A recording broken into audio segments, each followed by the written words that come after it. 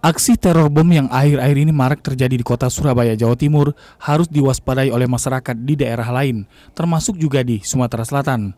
Pengamat hukum dari Universitas Sriwijaya Dr. Azhar mengatakan, mewaspadai aksi terorisme ini tidak hanya dilakukan oleh aparat keamanan, namun juga oleh stakeholder dan masyarakat umum.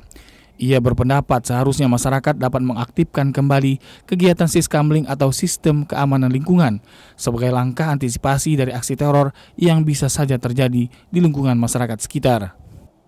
Baiknya aparat keamanan maupun stakeholder kita sama-sama dikoordinir oleh uh, pemerintah aparat keamanan untuk meningkatkan kewaspadaan ya kalau perlu meningkatkan ya sistem keamanan lingkungan kita jadi dapat melihat apakah ada orang-orang yang mencurigakan maka untuk bersama-sama ya menjaga kewaspadaan dan jangan terlalu ya takut hmm. karena dengan ketakutan itulah itulah yang diharapkan oleh para teroris ini.